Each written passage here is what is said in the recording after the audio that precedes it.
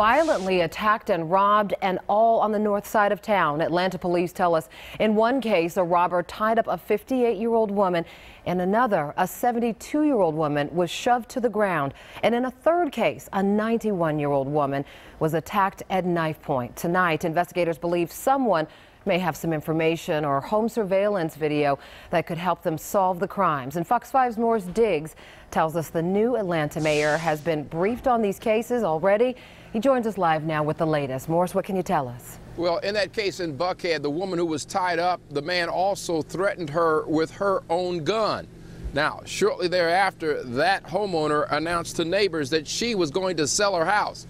Mayor Bottoms says that's not the answer because she says criminals cross boundary lines. Instead, she believes neighbors could be helpful to the detectives in giving them information that could bring this apparent random robbery spree to an end.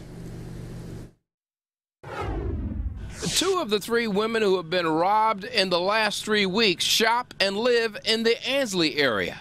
Here I am under the umbrella coming up to my front porch, I feel someone just shoved me from behind between my shoulder blades. That homeowner who had her groceries snatched is 72.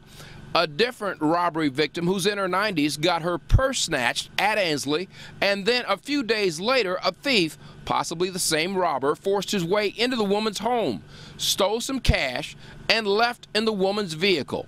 There is videotape of a man police are calling the suspect in that residential robbery. Detectives say he ditched her car and then ran off, his head covered. I know she's very upset. This longtime Buckhead resident is speaking about the latest crime. In that one, a resident came home to find a man inside. He tied her up and stole some jewelry. The mayor has been briefed on the cases. To know that APD is following several leads.